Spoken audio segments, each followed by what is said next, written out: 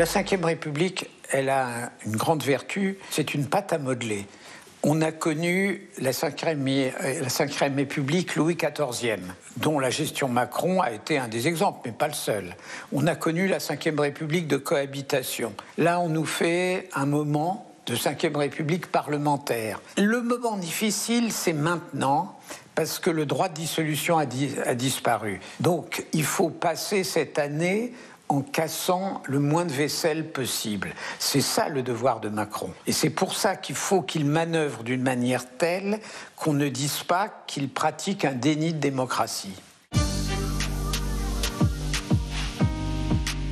Mélenchon a accrédité l'idée qu'ils ont gagné. Donc je pense qu'il faut faire la preuve démocratique qu'ils n'ont pas gagné. Macron devrait dire si le nouveau Front populaire me présente un ou une, candidate, je la nommerai Premier ministre à une condition. Je veux son engagement, qu'elle demande la confiance de l'Assemblée. C'est extrêmement vicieux, parce que si le ou la Première ministre demande la confiance de l'Assemblée, elle ne l'aura pas.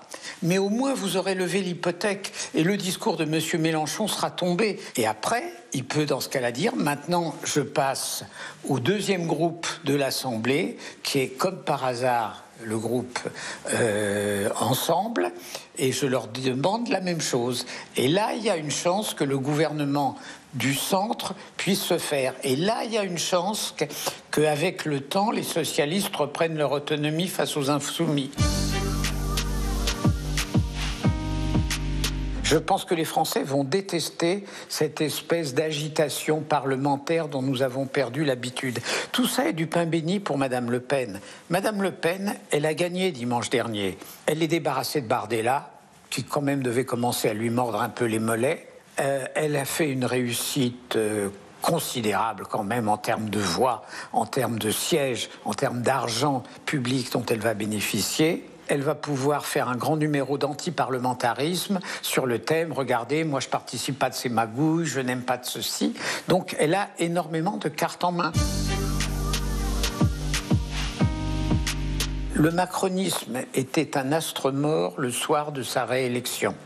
Il a simplement accéléré gravement le rythme de mort de cet astre. Lui affaibli, son parti éclaté, parce que euh, on dit le groupe ensemble, mais il n'y a pas un groupe.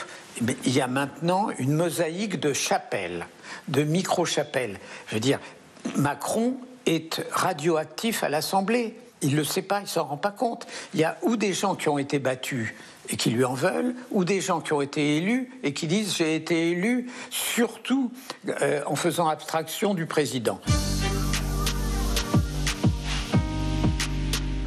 Pense qu'il faut faire très attention parce que si on n'a pas un débouché assez rapide de la crise, une unanimité va se faire à l'intérieur du jeu politique pour dire c'est désormais le mandat du président qui est en cause. Et je considère qu'il serait dramatique qu'il y cède aujourd'hui.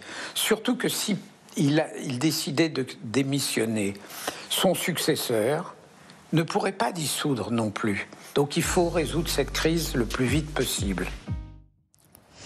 Euh, sur cette question de la démission, on a une, interrogation de Malik. Il nous dit Macron va-t-il tenir encore trois ans avec les motions de censure et dissolution à répétition qui s'annoncent? Jérôme Fourquet. Alors, dissolution à répétition, euh, je pense qu'on peut apprendre de, ces échecs et que le, président l'a payé cher, hein, euh, cette, décision qu'il a prise de manière totalement imprévue, déjà un soir de défaite électorale pour son camp qui était les, européennes. Ensuite, sur la question de la démission éventuelle du président, si euh, les assemblages euh, envisageables, euh, et il n'y en a pas beaucoup, ne se mettent pas en place à l'Assemblée, la pression inexorablement va, monter. On entend déjà Jean-Luc Mélenchon, on entend Marine Le Pen, on va en entendre d'autres. Se dire, en fait, le responsable de cette crise doit en tirer les conclusions. Vous parliez tout à l'heure du texte et de l'esprit de la Constitution. de Gaulle, quand il redonne la parole au peuple, hein, ce, que, ce, que, le président a dit, euh, que ce soit sur un référendum ou sur une élection législative, si son camp est désavoué, il tire les conclusions politiques et non pas euh, euh, juridiques de cette nouvelle situation politique et il s'en va. Là où les choses sont compliquées, c'est que maintenant, on, en a pris, si je puis dire, pour un an, avec cette, euh, avec cette Assemblée. Mais je, je ne vois pas comment la pression ne peut pas euh, monter de manière euh, oui. vertigineuse sur le président de la, de la République, surtout si de surcroît, euh, il morigène ses troupes. euh, en leur disant qu'elles ne sont pas à la hauteur, etc., etc. C'est-à-dire que même le dernier carré de fidèles va finir par euh, trouver que ça fait quand même un peu beaucoup.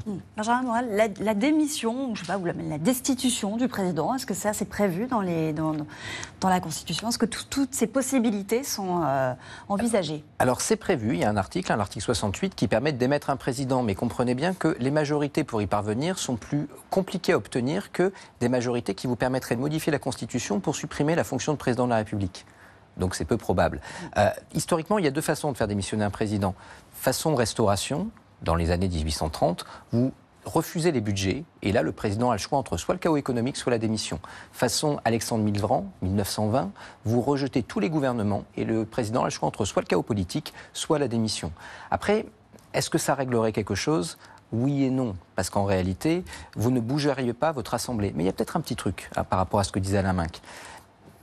Pour entrer un peu dans la technique, une dissolution, c'est quoi? Une dissolution, c'est un décret de dissolution. Ce décret de dissolution fait disparaître votre Assemblée nationale. L'article 12, celui qui prévoit la dissolution, il est extrêmement clair. On ne peut pas dissoudre, et ce n'est pas sujet à interprétation, l'Assemblée nationale moins d'un an avant une dernière dissolution.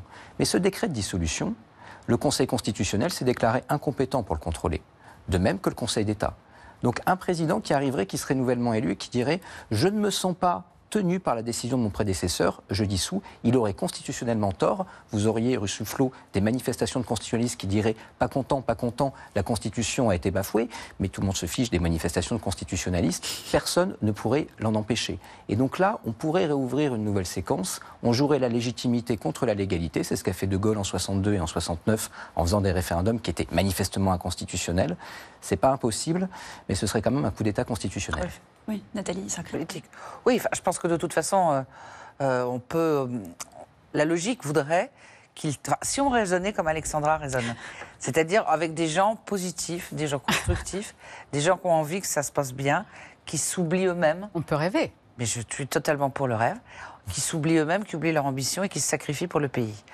On peut imaginer effectivement que la meilleure des choses, ça serait d'avoir des majorités, même si ça ne dure pas dix ans.